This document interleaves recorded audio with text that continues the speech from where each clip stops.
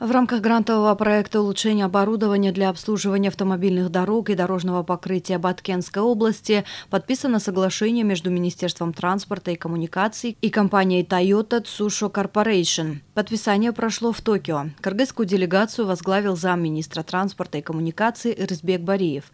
Проект финансируется японским агентством международного сотрудничества. В рамках проекта будут приобретены 48 единиц современной дорожно-строительной техники, в том числе камнедробильное оборудование и асфальтобетонный завод. Рызбек Бариев встретился с руководством «Джайка». В ходе встречи стороны обсудили вопросы расширения сотрудничества между Министерством транспорта и коммуникаций и «Джайка».